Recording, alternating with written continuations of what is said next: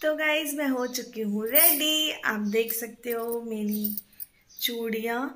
Actually क्या है मेरे पास ऑरेंज कलर की चूड़ी है बट uh, वो वाली साइज़ ना मेरी छोटी हो गई और मैंने अभी नई चूड़ियाँ ली नहीं है। क्योंकि पहले मैं बहुत पतली हुआ करती थी तो मुझे uh, सवा दो की चूड़ियाँ आती थी बट अब मुझे दो छः की चूड़ियाँ आती है। तो जो जो दो छः की चूड़ियाँ है वो तो मैं ऐसे डाल लेती हूँ। मेरे पास छोटी छोटी बहुत सारी चूड़ियाँ है लेकिन मैं उन्हें नहीं पहन पाती। वो अपना फुल लुक दिखाती हूँ कि मैं कैसी लग रही हूँ। गाइस पहना हुआ है मैंने ये वाला सूट जो कि एक पंजाबी सूट है। वाओ। वाओ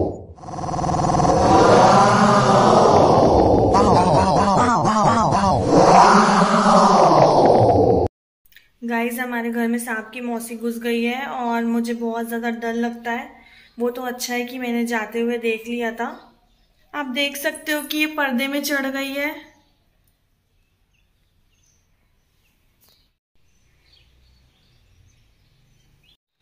तो गाइज़ अभी शाम के पाँच बज गई है और अब मैं जा रही हूँ नहाने के लिए क्योंकि नहाने के बाद जस्ट मुझे पूजा की तैयारी करनी है। तो मैं सोच रही हूँ कि जल्दी से जाके नहा लेती हूँ और उसके बाद मैं जो लहंगा वेयर करने वाली हूँ, वो भी मैं आप लोगों के साथ शेयर करूँगी। तो थोड़ी देर बाद मिलते हैं। बाय गाइज़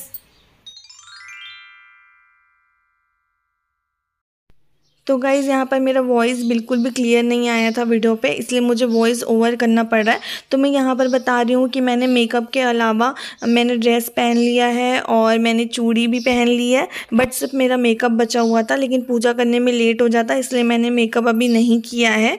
और आज मैं आप लोगों को बताती हूँ कि हम लोग पूजा कैसे करते हैं। तो यहाँ पे हम करवा माता की फ़ोटो रखते हैं और ये वाली जो थाली है वो चंद्रमा और मेरे हस्बैंड की पूजा की थाली है।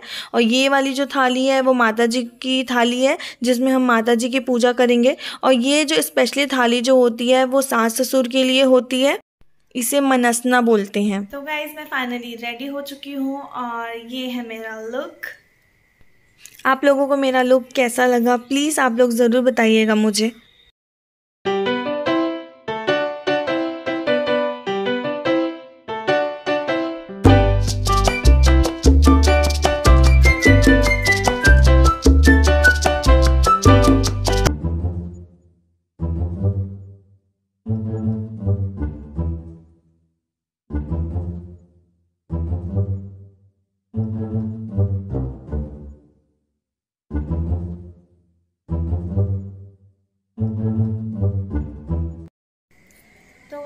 चाँद का वेट कर रहे हैं और चाँद अभी तक नहीं निकला है। हमारे दुर्ग में चाँद निकल चुका है, मैं जूम करके दिखाती हूँ।